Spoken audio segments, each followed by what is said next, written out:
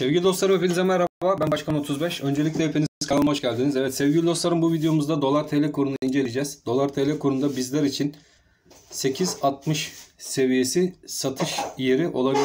Sizlerle birlikte bunun değerlendirmesini bu videoda yapacağız. Bu videomuzda özellikle sadece dolar TL kurunu inceleyeceğiz. Dolar endeksine bakacağız. Dolar endeksinin hareketlerinin hangi seviyede olduğunu teknik analiz ve grafik yöntemini kullanarak sizlerle birlikte bulup e, bu hafta dolar TL kurunda neler olabilir? Sizlerle birlikte bunu inceleyeceğiz. Bu videonun ardından e, altın, gümüş, bitcoin ve sterlin videoları da gelecek.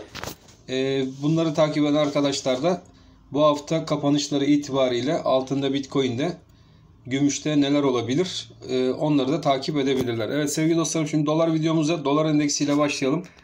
Dolar endeksinde e, şu şekilde bir dip oluşumu meydana gelmiş olabilir arkadaşlar. O yüzden e, bu biraz sonra yapacağımız dolar tl kuru analiziyle de ilgili bağlantı kurmak açısından sizler için e, dolar tl kuru satış yapılmalı mı yoksa e, beklenmeli mi şeklindeki sorunuza da bir nebze yanıt olacak. Evet dolar endeksine baktığımız zaman arkadaşlar e, bakın şöyle bir üçgen içerisinde hareketlerin devam ettiğini görmekteyiz ve özellikle de şurada çizdiğimiz dolar endeksinde artık bir dip biz buna ikili dip veya üçlü dip formasyonu da diyebiliriz arkadaşlar. 1 2 3 tane dip. Evet artık dolar endeksinde bir dip seviye oluşumu gerçekleşmiş durumda. Yani dolar endeksinin artık e, aşağı düşüşüyle birlikte bizim dolar TL kurunda yukarı yönlü hareketler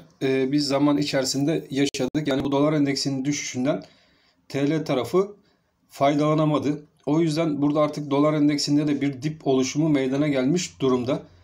Günlük kapanışlarda dolar endeksini inceleyecek olursak arkadaşlar bu hafta itibariyle dolar endeksinin 90 28 civarında yukarı yönlü kapanışlara devam etmesi halinde e, dolar endeksinin 90-82 ve yukarıda 91-50 seviyesine 91-60 seviyesine kadar yukarı yönlü hareketleri e, gerçekleşebilir. Benim düşünceme göre artık dolar endeksi buralarda bir dip oluşumu e, gerçekleştirmek üzere yatayda yukarı yönlü hareketlerine devam edecektir arkadaşlar. Dolar endeksi özellikle e, takipte kaldığımız şuradan yukarıdan gelen düşen trend çizgisini yukarı yönlü kırmayı başardığı vakitte arkadaşlar bakın şuradan gelen bir düşen trend çizgimiz mevcut. Bu trend çizgimizin tepe noktası burası. Mum hareketlerinin de e, buradaki hareketi yukarıya kırmasıyla birlikte dolar endeksi de artık dünya genelinde güç kazanacaktır e, şeklindeki düşüncem devam etmekte.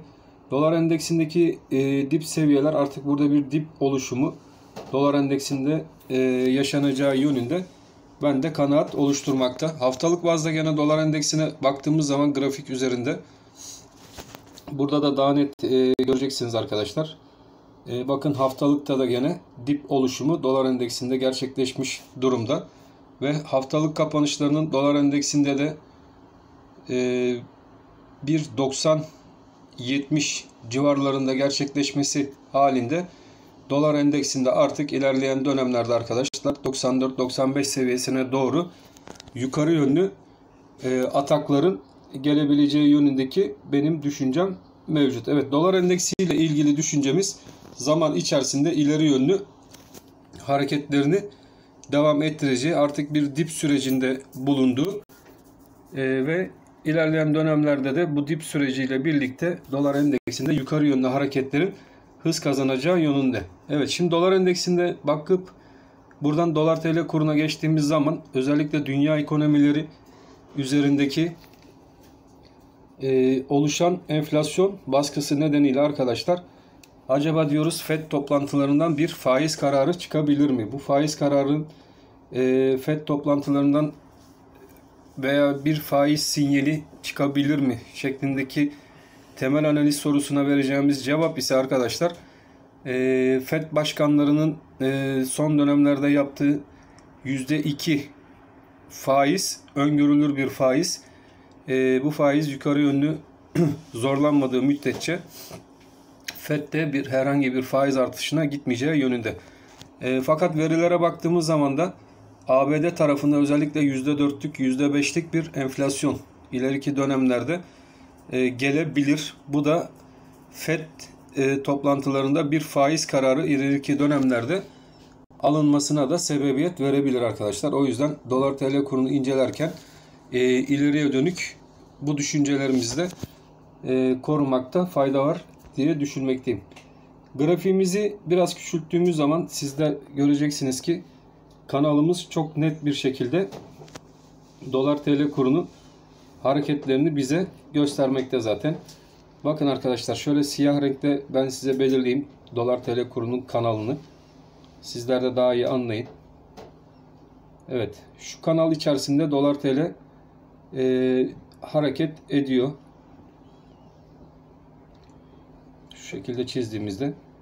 Bu kanalda tekrardan bir tepe oluşumu görülecekse arkadaşlar e, dolar TL kuru özellikle e, 8.61 zirvesini gördük. Bu 8.61 zirvesiyle birlikte pazartesi günü hareketlerine bu 8.61 seviyesi üzerinde devam ederse dolar TL kuru yukarıda e, siyah renkle belirttiğimiz e, bu trend çizgisinin arkadaşlar üst tarafı 8.94 civarından geçmekte. Yani dolar TL kuru burada bir 8.94 üzerine doğru hareket yapıp buradan e, satışta yiyebilir. Çünkü bu trend çizgisinin üst tarafları gördüğünüz gibi e, devamlı dolar TL kurunda e, deyip bir satış olayının gerçekleştiği bölge olarak dikkat çekmekte arkadaşlar. Fakat e, bizler için gene de her zaman biliyorsunuz bir B planı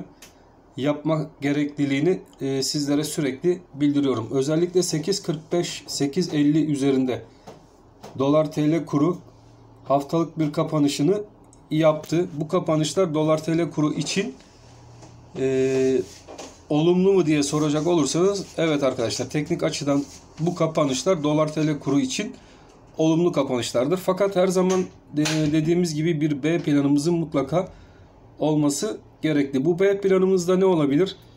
E, stop bölgesi özellikle bakın şuradaki stop bölgemizi bizler dolar TL kuru için 8.35 seviyesine çekebiliriz. Yani 8.35 seviyesi kırılmadığı müddetçe dolar TL kurunda tekrardan e, 8.94-8.78 dirençlerine doğru yukarı yönlü ataklar görmemiz mümkün. Peki dolar TL kuru almalı mıyım diye soracak olan arkadaşlar var. Arkadaşlar bakın e, dolar alınır mı sorunuza şöyle bir yanıt vermek isterim. Bir dahaki e, bizim şuradan bir alım tavsiyemiz zaten vardı. Takip eden arkadaşlarımız bilir. 6.95 seviyesinden e, bir alım tavsiyemiz vardı ve buradaki hedefimiz de Başkan 35 olarak 8.58 hedefimizdi. Şimdi 8.58 üzerinde 8.61 civarlarına doğru bir iğne bıraktık. Fakat kapanışı 8.56 civarlarından yaptık. E, bu da bize buralardan bir alım yapsak bile şuradaki 8.94 seviyesi kırılmadığı müddetçe e, dolar tl kurunda daha yukarı yönlü hareketler için erken olduğunun sinyalini vermekte. Fakat e, siz alım yapmak isterseniz mutlaka şuradaki tekrardan bir geri dönüş trendini beklemeniz gerekli diye ben düşünmekteyim. Bu geri dönüş trendimiz de şu an itibariyle en kısada 7.97'de gözükmekte. Onun altında da gene alım yapacak, yeni alım yapacaklar arkadaşlar için e, 7.48, 7.50 civarlarında gözükmekte. Yani bence bu trendin alt çizgisine bir daha dolar tl kurunun değmesi yeni alım fırsatı yaratacaktır. O yüzden e, yeni alım yapacak arkadaşların da bu seviyeyi beklemesinde fayda var diye düşünmekteyim. Bir Fibonacci e, değeri çizdiğimiz zaman da şu an itibariyle Fibonacci değerinin e, tam %100'lük seviyesi üzerindeyiz. Bu seviyemiz de gene bizler için 8.60-8.58 aralığından geçmekte.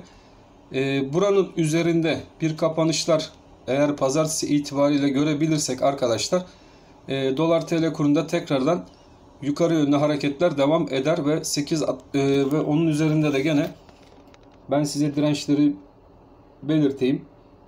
Çünkü zirvelerin e, oynandığı bir bölgedeyiz. Zirveler üzerindeki hareketler merkez bankaların müdahaleleriyle karşılaşabilir. O yüzden çok dikkatli olmakta fayda var. Dolar TL kurunda özellikle 8.45 8.61 artık burası bir kanal. 8.45 8.35 aralığı gene ayrı bir düşüş kanalıdır arkadaşlar. Ee, çok dikkatli olmakta fayda var. Ee, bu hafta kuru dikkatli bir şekilde takip edin. 8.60 e, üzerinde dirençlerimizi de hemen belirleyelim. 8.61 üzerinde 8.67 8.78 ve 8.94 dirençlerimiz bulunmakta. Yani 8.60'lı seviyelerden 8.70'li seviyelerden banka kurlarıyla makaslarıyla birlikte e, dolar alımına girecek bir arkadaşın burada en fazla 25-30 kuruş e, hareket halinde yukarı gitmesi halinde doların bir marj var. Yani alınır mı çok riskli. Ben olsam almam arkadaşlar. Bu fiyatlardan bu e, seviyelerden almam. Şöyle bir strateji de uygulayabilirsiniz. Mesela e, altlardan alım yapanlar e, bizler için neresi olabilir? E, bir 8.60'lı seviyelerden 8.58'li seviyelerden yukarı yönlü 8.67 7 e, 8.78 seviyelerine doğru artık dolar TL kurunda ataklarda buralardan çıkış yapılabilir. E, çıkış yapan arkadaşlar da yatırım tavsiyesi olmamak üzere dolar TL kurunda bir 8.94'ü gözlemleyebilirler arkadaşlar. Bakalım burada dolar TL kuru e, bir atak yapıp bu trendi yukarı yönlü kırabilecek mi?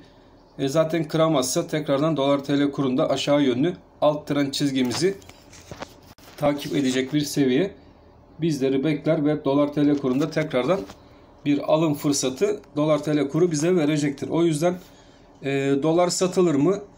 Evet arkadaşlar e, dolar satılabilir yatırım tavsiyesi olmamak koşuluyla.